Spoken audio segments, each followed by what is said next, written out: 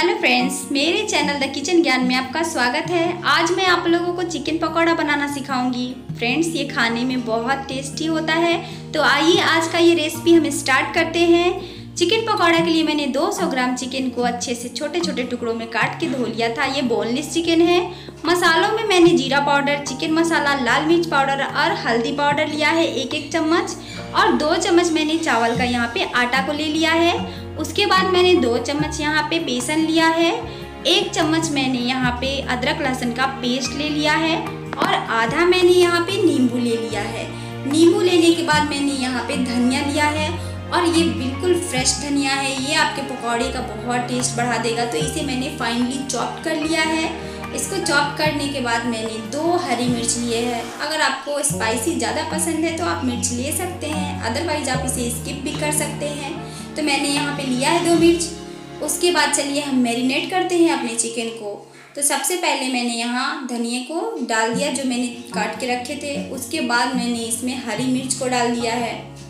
हरी मिर्च को डालने के बाद इसमें मैं चावल का जो आटा है उसे डालूँगी। चावल का आटा डालने से आपका चिकन पकौड़ा बहुत क्रंची बनेगा। उसके बाद मैंने यहाँ पे जो बेसन लिया है, वो बेसन को डाल दिया है। बेसन डालने के बाद जितने भी मैंने मसाले लिए थे, उन सभी मसालों को डाल दिया। उसके बाद मैंने यहाँ पे थोड़ा सा फ़ूड कलर लिया है। इससे बहुत खूबसूरत दिखेगा आपका पकौड़ा। उसके बाद अदरक लहसुन का जो पेस्ट लिया था मैंने, उसको भी मैंने डाल दिया। अदरक लहसुन का पेस्ट डालने के बाद मैं इसमें नींबू का जो रस लिया था, नींबू लिया था, उसका रस निकाल के डाल लिया है। उसके बाद मैं अपने टेस्ट के अकॉर्डिंग इसमें नमक को ऐड करूँगी। तो एक चम्मच मैंने यहाँ पे नमक को ऐड किया है। एक चम्मच नमक ऐड करने के बाद मैंने यहाँ पे दो छोटे चम्मच रिफाइंड ऑयल लिया है। रिफाइंड ऑयल ही लेना है फ्रेंड्स, सरसों का तेल नहीं लेना है। तो रिफाइंड ऑयल डालने के बाद मैं इसे मिक्स करूँगी। अब मुझे इसमें थोड़ी सी पानी की ज़रूरत लग रही है तो मैं इसमें थोड़ा सा पानी को डालूँगी। तो यहाँ पे आप देख सकते हैं मैं पानी को थोड़ा सा डाल रही हूँ और इसे अच्छे से अपने हाथों की मदद से मैं मिक्स कर लूँगी। बहुत अच्छे से इसे मिक्स कर लें जब तक कि सभी मसाले आपके मिक्स ना हो जाए। तो यहाँ पे मैं मिक्स कर रही हूँ। उसके बाद मैं इसे दो घंटे के लिए छोड़ दूँगी मैरिनेट होने के लिए।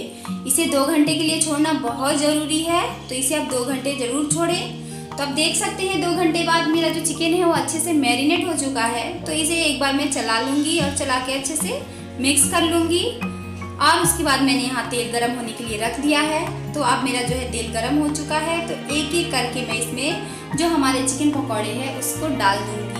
ये खाने में बहुत टेस्टी होता है फ्रेंड्स और अगर आपको मेरा ये आज का वीडियो अच्छा लगे तो इस वीडियो को लाइक ज़रूर कर दीजिएगा शेयर करिएगा। और अगर आप मेरे चैनल पर नए हैं तो इसे सब्सक्राइब करना बिल्कुल भी नहीं भूलिएगा।